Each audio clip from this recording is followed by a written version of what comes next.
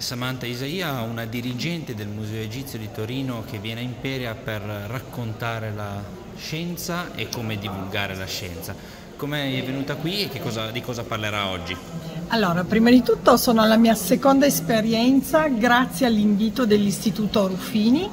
Eh, per noi è un momento di scambio interculturale e importante eh, oggi veniamo a raccontare i cinque progetti di ampliamento e di cambiamento del Museo Egizio di Torino. Il prossimo anno il museo abbraccerà un grande festeggiamento, quello del bicentenario, e noi vogliamo affrontare il bicentenario della fondazione di questo museo andando ad ampliare i nostri percorsi, andando a raccontarci i flussi turistici in maniera, in maniera completamente nuova. Il museo oggi si visita con un percorso, fatemi dire, obbligato, si sale al sesto piano e si scende lungo 4.000 anni di storia. Domani invece il percorso sarà un percorso a stella dove lasciamo la piena libertà ai nostri visitatori di scegliere che cosa vedere, che cosa rivedere, che cosa approfondire. Quindi questo per me è un momento di scambio importantissimo con quelli che saranno i nostri tecnici del futuro, quelli che magari verranno a lavorare in un museo come il nostro oppure verranno semplicemente a visitarlo. Il Museo Egizio è lanciato davvero verso un nuovo percorso di innovazione piuttosto trasversale e oggi la racconteremo ai vostri ragazzi.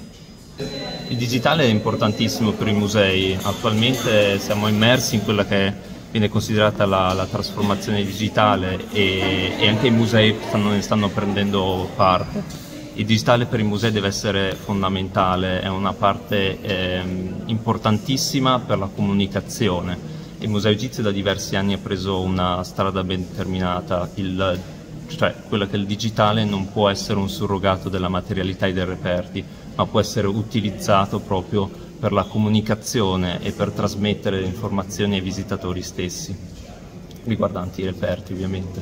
Siamo con il preside dell'Istituto Ruffini, oggi è una giornata importante per raccontare ai ragazzi non solo la scienza e la storia, ma l'importanza di riscoprirla. Come mai questa iniziativa? Oggi è la terza giornata dell'evento Guarda ora il tuo futuro, giornata dedicata a due grandi tematiche, il turismo e le tecnologie l'informatica, come queste due realtà possono collaborare assieme per costruire percorsi futuri, per costruire le professioni del futuro.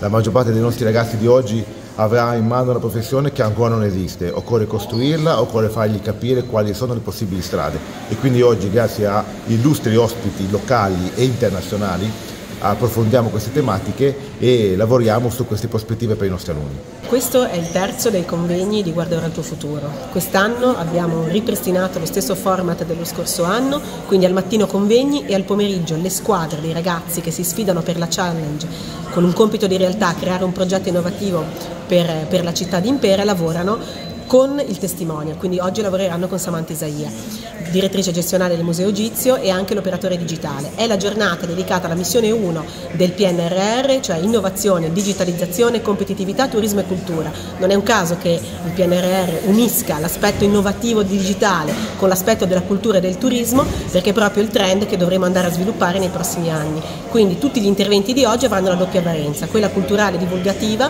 e anche quella digitale.